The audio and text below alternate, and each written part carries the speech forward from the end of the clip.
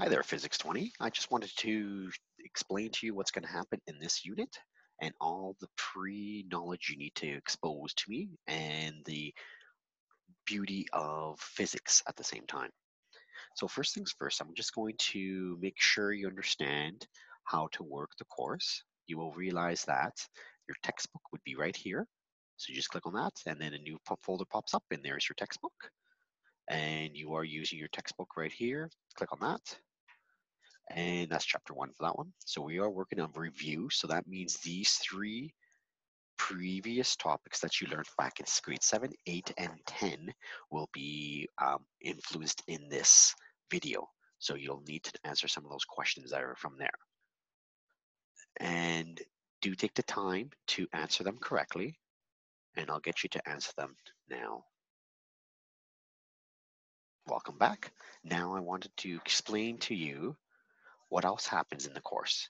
So we've sometimes you'll see a little page, and this is basically explaining to you that there's a video or something else that's on there. If you click on that, you'll see there's some videos on significant digits. Keep in mind, significant digits are very important, especially in physics and any other science course, because of the fact that uh, when you do experiments, you want to have that precision and accuracy correctly done. And it's going to be emphasized in this topic, by the way.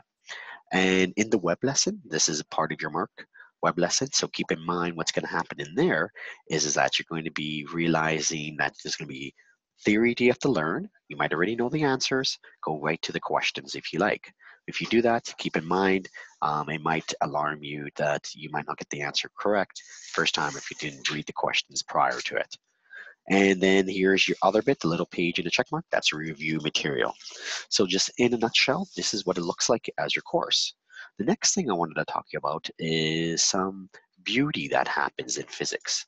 The beauty that I'm talking about is like what you learned back in grade seven, structures. There's many structures around the world that has this beauty of how is it even able to stand up? Like this crest moon to this building looks all demented. The cathedral that's massively made here. Our instruments that are just astonishingly humongous.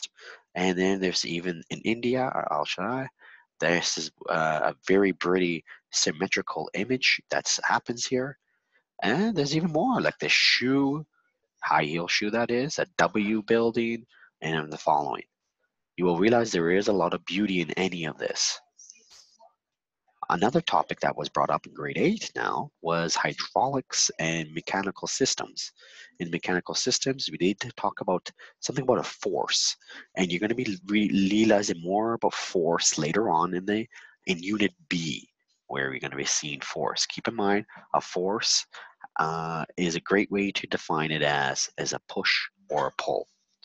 Another thing was interesting is energy that you learned in grade 10 and some of the things that you learned in energy, they gave you many of examples that uh, were found from the good old natural resources from oil in our red in Alberta to we could even have some parts in Alberta, the windmills, and we even have other forms of energy that exist. As you know, there's plenty from well, from coal that used to be used, which is still being used in Alberta. Uh, there is also um, turning the turbine, you could use water. So that's from dams and so forth. And you realize there's more to learn in the future. The reason why I put the following photos over here, Joffre, uh, that's just nearby in Red Deer here. And in Joffre, there's a cogeneration plant. This right here is the cogeneration plant where it actually provides all the excess heat that's coming from Joffre power plants that are making oil and so forth, and they convert all the excess waste into a building, and those buildings are being used as businesses. That's the beauty of having a cogeneration that exists uh, there in Joffre. Then we could talk about how there's distance time graphs that you learned last year. So all of these things are all review that you're going to be learning. I would like you to think about all the beauty that you do see in your everyday life and reflect upon it. And I'm just going to end with a prayer here. In Father, Son, Holy Spirit. Amen.